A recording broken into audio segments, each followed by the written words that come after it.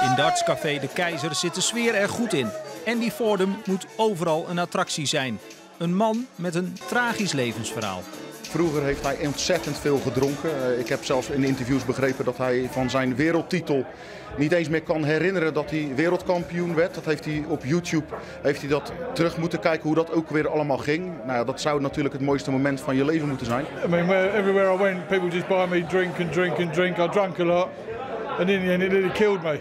But um, I'm lucky to be here today to carry on and hopefully have some more fun.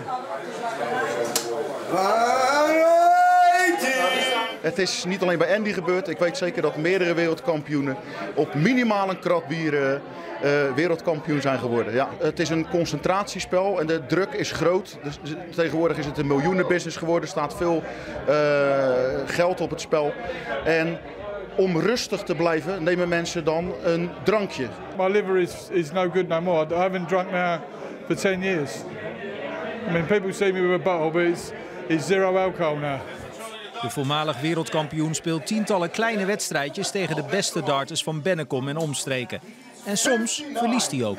Ricardo, you require. Ja, dat is, eh, kan niet iedereen zeggen. Het was maar één lekje, maar toch wel eh, blij dat ik dat lekje heb gewonnen. Wat kost zo'n eh, wereldkampioen eh, hier naartoe halen nu? Een hoop geld. Een hoop geld.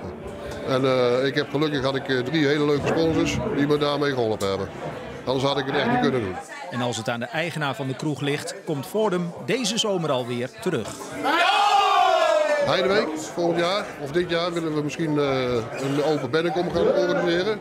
Met misschien nog drie andere bekende darters erbij. Dus dat, dat zou heel mooi zijn als dat ook gaat lukken.